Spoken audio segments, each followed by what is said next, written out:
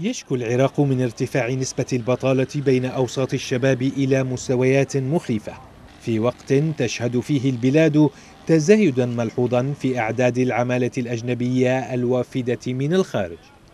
أكثر من مليون عامل من مئة دولة أجنبية يعملون بصورة غير قانونية في العراق.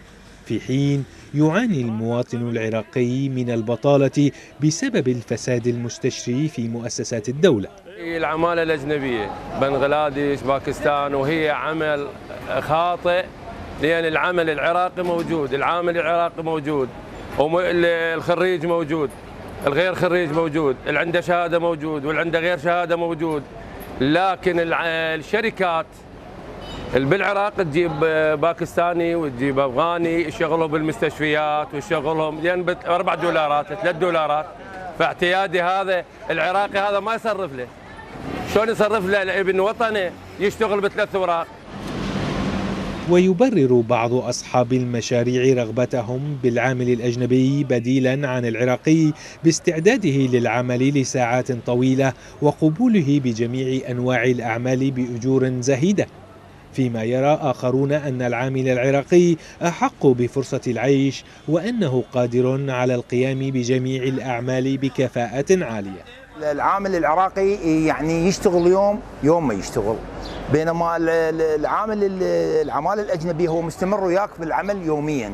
هذا السبب. السبب الثاني مشاكل انت تعرف المشاكل العشائرية للعامل العراقي. يعني بسقوطه آه، يندعم ينضرب ينجرح هنا يسبب لنا مشكلة. هاي أيضا من المشاكل الرئيسية الموجودة عندنا. طبعا إحنا نفضل أن يكون العامل العراقي ابننا وابن بلدنا وابن وطننا. هو العامل العراقي وين ما كان يشتغل. والعالم تقول لك العراقي ما يشتغل والعراقي تعبان والعراقي سخت يد يشتغل جقاره يشرب له والعراقي يشتغل بالعمالة.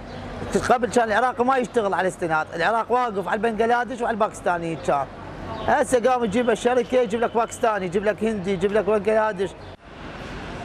وبات ملف العمالة الأجنبية تجارة رابحة لجهات سياسية نافذة ممن يعملون كمتعهدين في تشغيل العمالة الوافدة ما جعلها تستحوذ على ما يزيد عن 80% من سوق العمل العراقي في بعض المجالات بالقطاعين العام والخاص. وزارة العمل لم تفعل شيء في حين هي المسؤولة عن تطبيق قانون العمل وهي المسؤولة عن مراقبة ما يحدث من انتهاكات وتقديم المخالف المحاكم أو وضع الشركة المخالفة في القائمة السوداء وإحالة المحاكم المختصة.